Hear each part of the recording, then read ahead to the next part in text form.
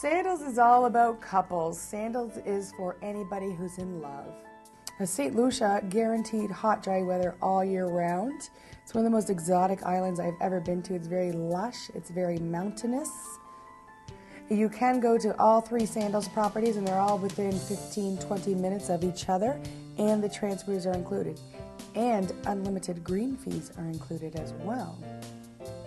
The beach in St. Lucia is absolutely amazing white sand, clear water. You can walk forever out into the ocean. It's very shallow.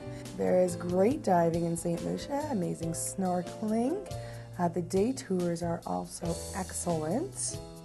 So with Sandals, not only do you get your non-motorized water sports, but you also get your motorized water sports. So your scuba diving is involved. Your water skiing is included. Sandals has four pools. They actually have a swim up room category where the pool meanders down towards the buildings, and there are actually swim up rooms available.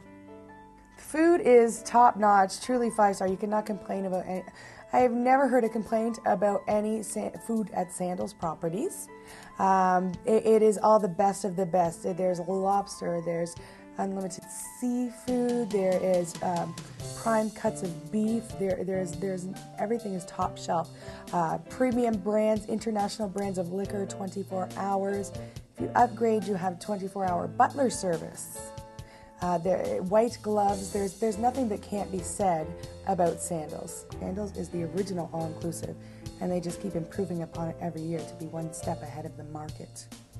Sandals does cost a little more than the average property, but they also give a lot more. So for what you're getting included, it's definitely worth every penny. As I said, Sandals is not the all-inclusive, they're the ultra-inclusive.